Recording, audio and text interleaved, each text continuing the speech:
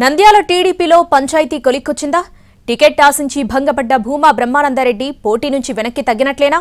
Party అధినాయకత్వం plan success అయినట్లేనా? Let's watch Nandyal టీడీపీలో భూమా బ్రహ్మానందరెడ్డి వ్యవహారం హాట్ టాపిక్గా మారింది. ఇక్కడ ఇన్ఛార్జిగా ఉన్న భూమా బ్రహ్మానందరెడ్డి టికెట్ ఆశించి భంగపడ్డారు. ముస్లిం మైనారిటీల కోటాలో ఫరూక్కి అధిష్టానం టికెట్ ఇచ్చింది.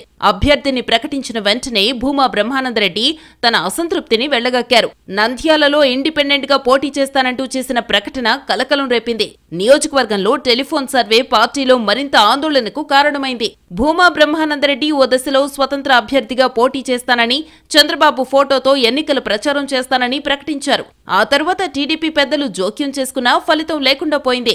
నామినేషన్ వేయడానికి అంతా సిద్ధం చేసుకున్నారు. అయితే చివరి నిమిషంలో రంగంలోకి దిగిన అధిష్టానం మాజీ మంత్రి ఏరాసు ప్రతాప్ రెడ్డి పెనుగొండ మాజీ ఎమ్మెల్యే పార్థసారథిని దూతలుగా భూమా బ్రహ్మానందరెడ్డి వద్దకు పంపింది.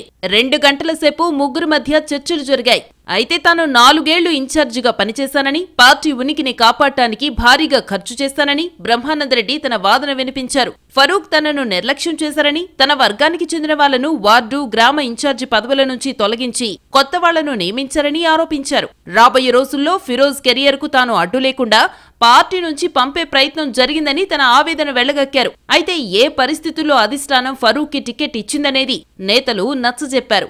భూమా బ్రహ్మానందరెడ్డితో పార్టీ అధ్యక్షుడు అచ్చెన్నాయుడు టీడీ జనార్దన్తో మాట్లాడించారు. ఆఖరకు తెలుగు యువత రాష్ట్ర అధ్యక్ష పదవి భూమా బ్రహ్మానందరెడ్డికి ఇచ్చేలా ఒప్పందం కుదిరింది. టీడీపీ అధికారంలోకి వచ్చాక నామినేటెడ్ పదవిని ఆఫర్ చేశారు. వీటికి అంగీకరించిన భూమా బ్రహ్మానందరెడ్డి ఇండిపెండెంట్గా పోటీ చేయబోనని హామీనిచ్చారు. అయితే హైకమాండ్కు కొన్ని కండిషన్స్ పెట్టారు. అభ్యర్థి ఫరూక్ ప్రమేయం లేకుండానే ఒంటరిగా ప్రచారం చేస్తానని పట్టుబట్టారు. అందుకు టీడీపీ దూతలు ఒప్పుకున్నారు. అధిష్టానం ప్రతిపాదనలను అనుచరులతో చర్చించి ఓకే చేసిన బ్రహ్మానందరెడ్డి సొంతంగా ప్రచారం చేసేందుకు సిద్ధమయ్యారు. మొత్తానికి ఫరూక్ భూమా బ్రహ్మానందరెడ్డి మధ్య హైకమాండ్ జోక్యంతో పంచాయతీ సెటిల్ అయింది.